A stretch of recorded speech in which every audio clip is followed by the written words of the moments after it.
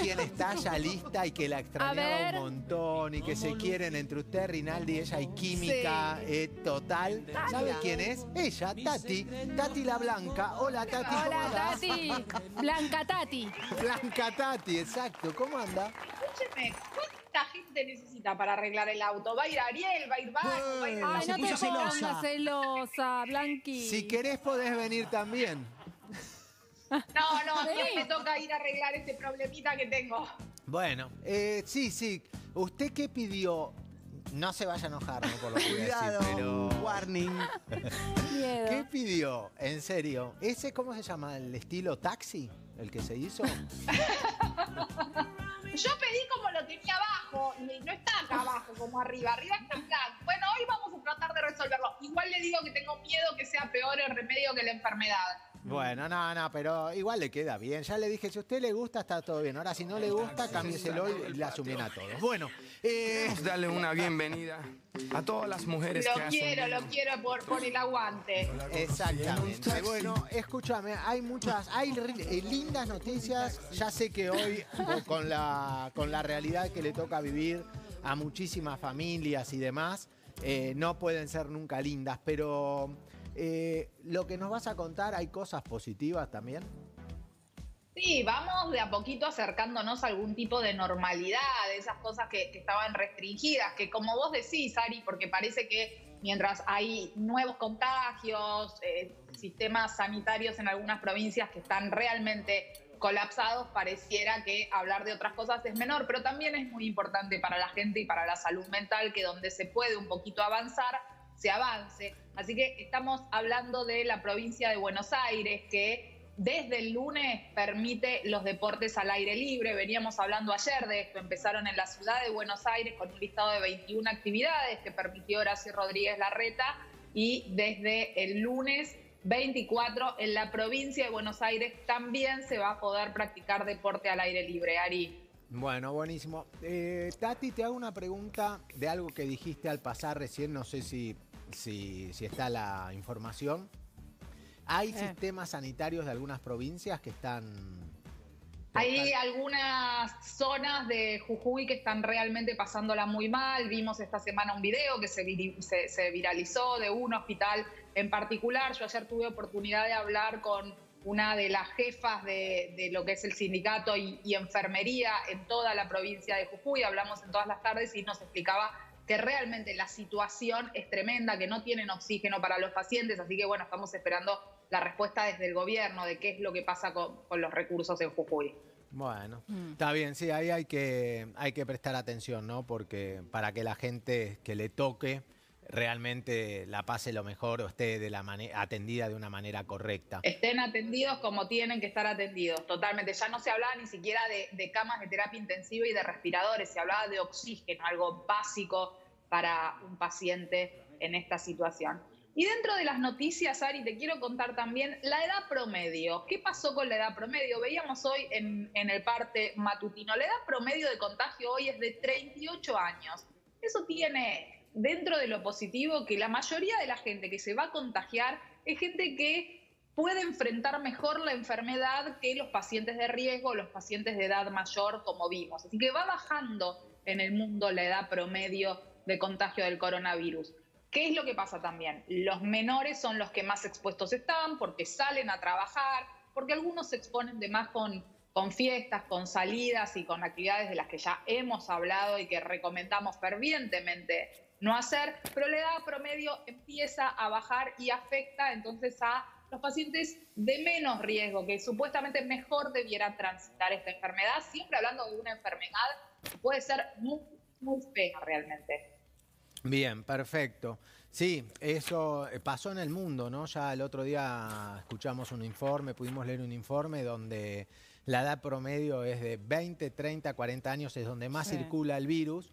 Y es verdad que ahí la letalidad es muy, muy, pero muy, muy baja, pero ahí está el riesgo de que los jóvenes contagien a los adultos o a los adultos mayores, donde eh, le ahí está el gran riesgo que tenemos que cuidar.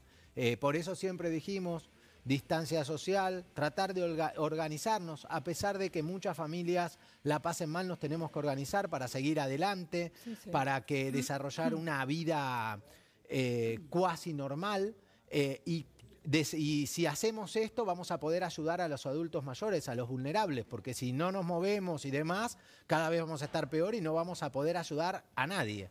Entonces, distanciamiento, desde ya no a las, a las cosas, a los encuentros masivos, es lo que insistimos, ¿no? De tener justamente conciencia social, distanciamiento, usar barbijo, no vamos a poder ir a la cancha de fútbol todavía. Eh, esas son las cosas que no podemos permitir, pero ser racionales en las cosas que sí permitimos para que más gente pueda estar bien. Cumplir los protocolos, porque están para eso, para cuidarnos y para poder seguir avanzando en esta etapa de, de aperturas que estamos atravesando, Ari. Bien, Tati. Vos ayer me preguntabas por los natatorios. ¿Querés que te lo cuente ahora o querés que te lo cuente después del corte? No, déjame que me saco la gorra de baño, me seco el pelo y me lo contás, si te parece. ¿Eh? A la vuelta me contás Dale, perfecto. natatorios, comercios, cómo están, qué pasó, qué hay en Once, ¿eh? toda la información, farmacias. Todo, todo, ¿Qué es lo que más vendieron las farmacias? Farmacias, Bueno, vamos un- a hablar de los médicos, vamos a hablar de, de muchas cosas. ¿Qué pasa? ¿Qué pasa con los natatorios? ¿Qué pasa? pasa? con las piscinas, Tati? Yo le voy a contar qué pasó con las piscinas, pero así como tengo que pedirle al peluquero, Upa, se ¿cómo calentó. le pido a usted que me deje una porción de torta? Ah, iba a pedir algo. No entiendo. Usted tiene sus aliados acá, ¿eh? como de los santos. Waffles ya no voy a pedir. Waffles no lo intento más. Bien, eh, hoy yo me comprometo a dejarle una porción de torta. Mire, voy a hacer una De cosa, los espéreme. está enojado conmigo. Espéreme. Uno, Ah, sí. dos. De los Santos, usted que tiene sus contactos a la tarde y maneja mucho personal en el 9, ¿puede hacerle llegar a Tati ese? Eso no llega, No, por no llega. favor. Estaba así para vos, mi amor. Sigue uno a Tati, uno a la jefa de Tati. Sí. ¿De quién hablo? Leti. No, No, de bajo. de Maju. No, ¿eh? Y este lo, esto, miren, gracias, pasó? A, gracias al programa, a su Ah, programa de la agarrar tarde de, Maju, ¿Está al programa bien? de Maju, que nosotros entre todos vamos a compartir esta Esto. mitad. Gracias. Sí, está todo bien. Pero eso ya está. empanadas. Eh, ya está, ya tienen todos y para que no tenga problema usted, eh, hay para usted y hay para sus compañeros. le agradezco, le agradezco. Bien. Quiero ver si llega. Yo lo voy a buscar al negro. hoy, Ya lo ¿eh? están Ya comiendo. no es mi ¿Entendió lo que dije? ya Está lo tiene. comiendo. Ya lo están comiendo, chicos. No, no, no, no, no, no. El negro, el negro es una persona de palabra. De fiar. Mira esa cara. Miren, mire esa cara. Esa cara es la mejor del mundo. Esa cara. Es de palabra, así que le va a llegar a la tarde y van a disfrutar de esta Majo, torta beso, con el Majo. stru- streusel, con la ricota, las frutas. Majo, usted y sus compañeros. ¿Eh? Muy bien, le agradecemos, todos le agradeceremos. Y está Perfecto, todo vamos, bien. Lo voy a perseguir al negro, me parece. Me meto Bien. con los natatorios, si te parece, Sí, Ari, porque se vive una situación complicada. Ayer averiguando entendía que los natatorios son importantes no únicamente por la posibilidad de hacer deporte, también para la rehabilitación de mucha gente, de muchas lesiones, de muchas dificultades que en el agua son más amables para tratar. Entonces hay mucha gente que usa los natatorios por un tema de salud incluso y no, no están habilitados, no está regulado todavía que puedan funcionar. Se está haciendo una prueba piloto en Mar del Plata, pero muy particular, un- una situación muy particular que se está realizando en modo de prueba piloto. Y sí están funcionando en Tandil, en Madariaga, en Necochea y en Balcarce. Pero en todo el resto de, la provincia de Buenos Aires, en, en la ciudad de Buenos Aires, que era lo que me preguntabas ayer, no están habilitados los natatorios y tienen una problemática, porque hablamos también con, con algunos clubes que tienen piletas y es muy caro llenar la pileta, eh, calentar el agua. Mira, un, un club muy grande que está en, en el barrio de Chacarita, me explicaban que llenar y calentar la pileta le sale 600 mil pesos. Ah, la pipeta. Que ellos, sí, que ya deben 500 mil pesos, están teniendo de deuda de gas en este momento y que proyectan que cuando abran, en general tienen 2.300, 2.400 socios y calculan que cuando abran van a tener 700 socios.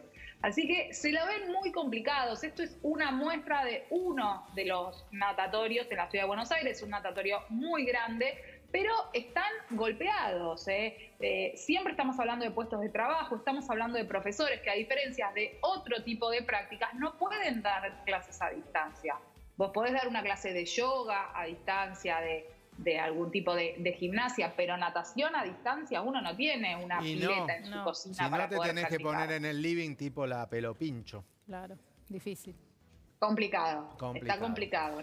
No, lo pruebe en tu casa la pelo pincho. No, aparte también cuando pensás, bueno, no sé si tiene una solución para algunos de las personas que, usan la, la piscina, la pileta, porque cuando pensás en que el aquagym es un deporte fantástico para la gente de la tercera edad que tiene problemas en diferentes articulaciones de circulación y demás, que hoy no lo pueden utilizar, pero después decís, ¿cómo se sustenta o se mantienen los puestos laborales de la gente que trabaja en una piscina? Porque hay clubes de barrios que el gran fuerte que tienen es una piscina y es para tipo dar clases a los nenes, a las mamás, a los nenitos cuando uno dice quiero que aprenda a, nadar, así es más seguro por si algún día van a un lugar donde hay agua y sabe nadar y aparte de lo fantástico que es ese deporte y demás.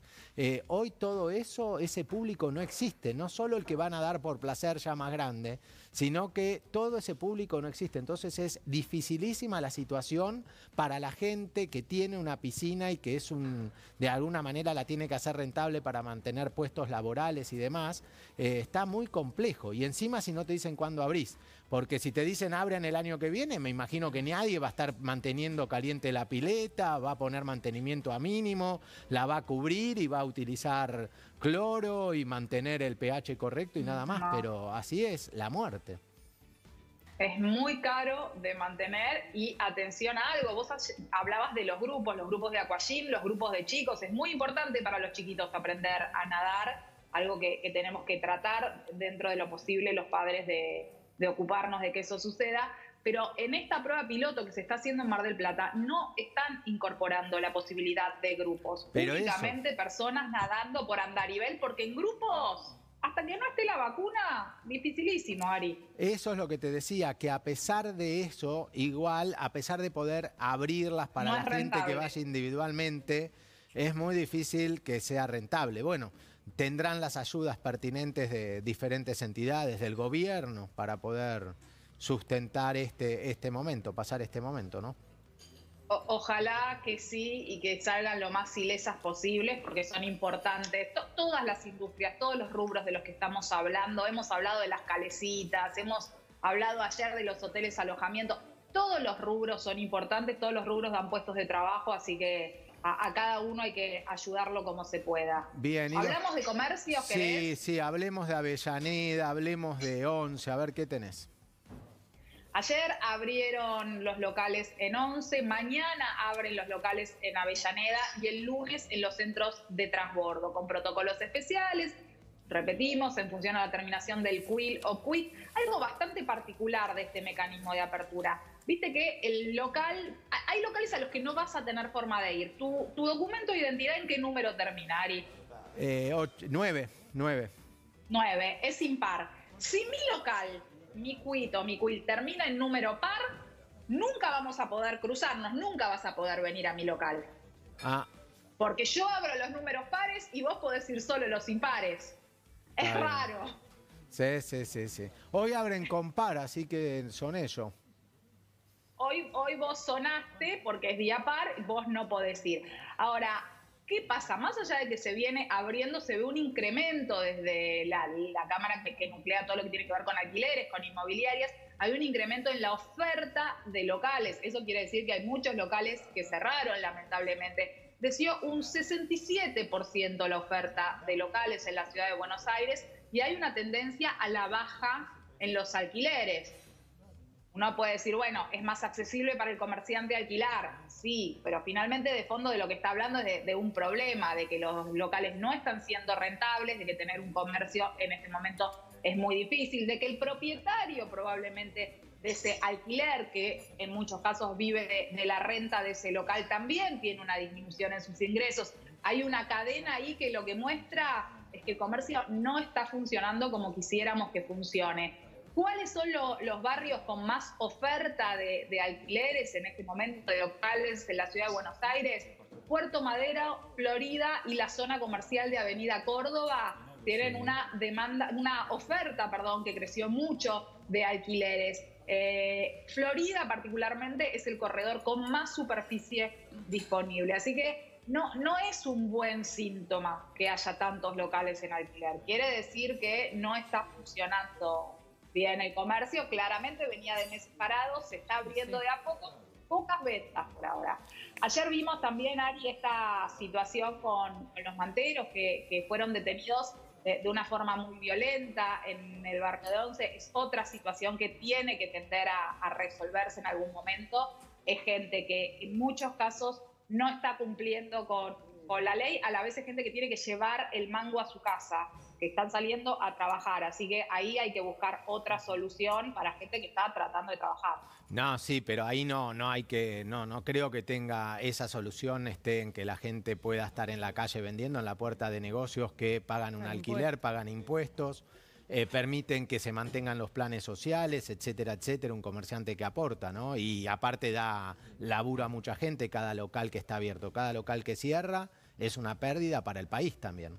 Entonces, bueno, totalmente, no puede haber una situación ahí de, competencia porque es competencia desleal absolutamente y lo que piden los manteros es algún lugar al que poder ir a vender. Hay una propuesta que tiene que ver con las ferias itinerantes. Desde ahí es la solución, no desde que se tienen que poner de acuerdo en el lugar. Ayer el tema es que les incautaron la mercadería y había reclamos muy fuertes eh, que tenían que ver con la mercadería, iban más allá de los comercios de la zona, tiene que ver con la ley de marcas y con productos que son imitación o copia, eh, ah. y, la policía se, quedó la mercadería. Bueno, toda una situación muy violenta que se vivió y que ojalá se resuelva de la mejor manera, por supuesto. Sí, sí, son cuestiones más de fondo que de otra cosa, ¿no? Que eso es algo un poquito la punta del iceberg nada más. Pero bueno, hay, hay que buscar otras soluciones más de fondo. ¿Y librería zafaron? ¿Usted leyó durante la cuarentena? ¿Estuvo leyendo algo? Al principio de la cuarentena algo leí. Mm. Algo, mm. pero mm. después no me quedé sin tiempo. La verdad que en la cuarentena tuve menos tiempo que cuando no estaba en cuarentena. Hubo, sí, sí, lo sé, lo sé por, por lo que hemos charlado mientras estaba ahí, también ha, tenido su propio baile. Exactamente. Eh, bueno, apareció un público nuevo durante la cuarentena, apareció un público no lector que en cuarentena empezó a leer y siempre está buenísimo acercar a la gente a la lectura. Si las librerías zafaron, es un montón decir que las librerías zafaron. Digamos que las librerías luchan y siguen de pie, ¿le parece? Buenísimo. Sí, porque aparte luchan contra la realidad de, defender el libro en papel, ¿no? Contra lo digital. Sí, algunas de las dificultades de las librerías en, en, esta pandemia tuvieron que ver con el stock, con la renovación de stock, con falta de productos para vender. Las ediciones llegaban en pocas cantidades, se agotaban, no había productos para vender. Las librerías tuvieron que trabajar muchas más horas de lo que trabajaban. Hubo un puerta a puerta, hubo un sistema de envíos, hubo ventas por WhatsApp, hubo ventas por redes. Hay algo que dentro de todo las librerías pudieron seguir vendiendo. Nadie salió ganando en esta situación. No estamos hablando de, un sector que se haya hecho millonario ni, ni muchísimo menos, pero a fuerza de mucho trabajo podemos decir que las librerías no están tan mal como otros sectores. Bueno, bien. Isabel, lo que quiero que me cuentes? Porque de los santos hasta, hasta, hasta levantó apuestas de esto. ¿De qué? ¿Qué es lo que más se vendió en las farmacias? ¿Usted quiere saber qué es lo que.? No, lo que, lo que quiere saber de los santos no está en, en el ranking. Uh. Ah, no, no hay. ¿Qué quiere saber usted? Lo que quiere saber usted, no, no, sí, tenemos el ranking de farmacias, pero la, medicación por la que está consultando. Se está comiendo lo de Tati. Negro, te calmas. Te estás comiendo mi torta. Sí, Negro. Ya está, ¿eh? Usted se la buscó. Y es espectacular, ¿no? Usted se la buscó. Seguí, Tati, tranquila. bueno, la venganza será terrible, negrito, sabelo. Bueno, ¿qué pasó con el, el negro y la blanca? farmacia? Cayó, en general cayó el consumo de la farmacia, pero también está dentro de las excepciones. Pudieron seguir funcionando desde el día uno como comercio esencial y hay productos, Ari, que crecieron un montón en, en su consumo. Tenemos unas placas para compartir y revisar algunas de las cosas. Bueno, productos, estas fórmulas antiobesidad crecieron un 308%, Ari. Miércoles. 308% la venta de productos antiobesidad. Siempre recomendamos y recordamos hay que consultar al médico. Los ¿Qué antisépticos crecieron un 200%. ¿Me preguntó qué son los antisépticos? No, los antiobesidad, no, no, no sé bien qué son esos, qué son pastillas. Bueno, son, son los fórmulas polvos. dietéticas, y hay polvos, hay pastillas, hay distintas cosas eh, que, Para la que se consumieron mucho durante cuarentena. Ah, mira vos. Los antisépticos un 200% subi- subieron. La vitamina C, la pastillita de vitamina C, 96%. Uh. Tenemos más, a ver. A ver. Ansiolíticos, 10%. Productos para el sueño, un 20%. Cremas y, y protectores, ¿esto sabe con qué tiene que ver mucho también? Con, el alcohol en las manos que Ah, nos deterioraba. claro, que te reseca todo. Un 20%, que resecaba un 20%. Hay algunos productos que bajaron también, te cuento Oh. algunos. Esto me hace acordar a Eh. Celestino, ya se lo digo. ¿Por qué? A ver, Porque y porque él también tiene preguntas para usted. Ah. Ahora, como usted termina, yo se lo hago, eh, porque está mandando mensajes. Hay algunos Venta música. Libre que, que bajaron un ¿Qué 10%. Hay, hay productos eh, de, de- Sí, los de venta libre que a veces tomamos en, en esta época del año han caído un poquito porque estamos saliendo menos a la calle, solo por eso. Entonces estamos con, con menos síntomas gripales o respiratorios. Pero después, en general, todo lo que les leímos fue, fue subiendo. La que pastilla azul, pregunta Celestino, porque en su caso aumentó mucho, Ah, dice el uso. ¿Qué pasa con la Yo pensé que esta era la que quería saber en negro. Eh, no, no está dos. en el ranking. No está. Bien, No está en el ranking. no está en el eh, no, no tenemos información. No. Bueno, muy bien, muy bien. No, no. Perfecto. No, no, no es que no. Si no está Blanco y no negro. Ahí están. Ahí están ustedes dos, mire, mire, de chiquitos cuando se conocieron. ¿eh? Unidos por la infancia, separados cuando crecieron. Blanca y negro. ¿Cómo se llamaba el papá? Drummond. Drummond, Drummond. Mr. Drummond. ¿De qué estás hablando? Mr. Drummond. Eh, Ahí ¿De qué estás hablando?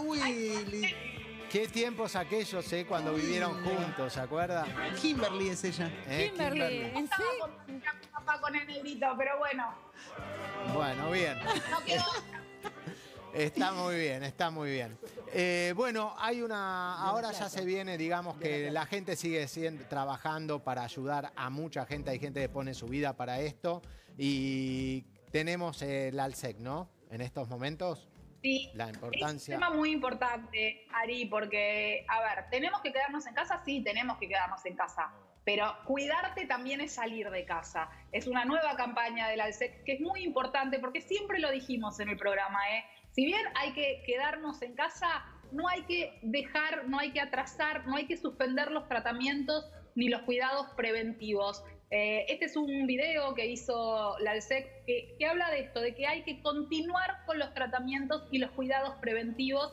Hubo una caída durante la cuarentena del 80% de los exámenes de prevención y detección temprana del cáncer. Hubo interrupción de los tratamientos. El cáncer hoy es la segunda causa de muerte en la Argentina. En el 2040 va a ser la primera causa de muerte. Así que atención a esto, porque hay, una gran mayoría de, cánceres que detectados a tiempo, en el 90% de los casos son tratables, son curables. Así que eh, fundamental revisarnos las mujeres, tocarnos, ir al médico, hacer el control anual que tenemos que hacer. Cada uno con su médico retomar los controles es muy importante. De vuelta, el cáncer, la segunda causa de muerte en la Argentina.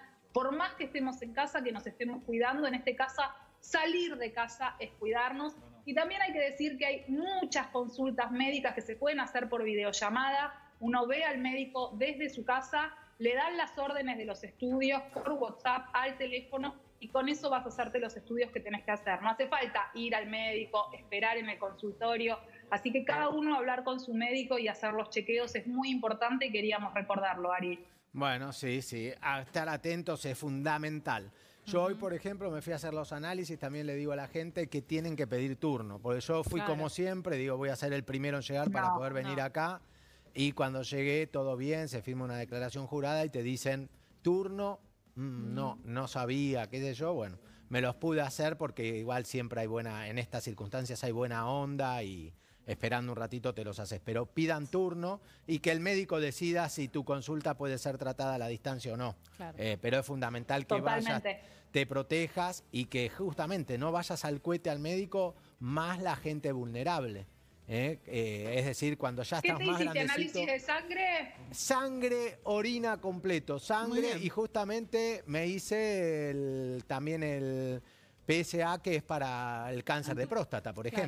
Es que los hombres se lo tienen que Perfecto. hacer. Bueno, a mí me toca la semana que viene. Yo tengo la semana que viene mamografía, ecografía, la eco eh, ginecológica, todos los controles que hay que hacer, hay, hay que hacerlos, Ari. Es Hay así. que hacerlo, si no, eh, la prevención es todo. ¿eh? Que entonces, básicamente, agarrada a tiempo cualquier problemita, es, es, la mayoría de las enfermedades son curables y manejables. Si te dejas estar, después te arrepentís y decís, ¿por qué me dejé estar? Así que tomar la decisión en este momento y decir, me voy a hacer los chequeos. ¿De acuerdo? Totalmente, Ari. Gran campaña del Alceque. Si querés cuidarte, salí de tu casa. Bien, eh, mañana Tati nos volvemos a juntar. Hoy a la tarde disfruten de su, su muffin, su ¡Se lo tortita. está comiendo! Sí, ya bueno, fue. ¿eh? tal vez es el suyo, pero el de Maju y el equipo está seguro. Así que no se haga problema. Usted mire a ellos cómo comen esta vez, ¿de acuerdo? Eh, nos vemos mañana. Chau, Tati, beso. Beso. Chau. Chau, Tati.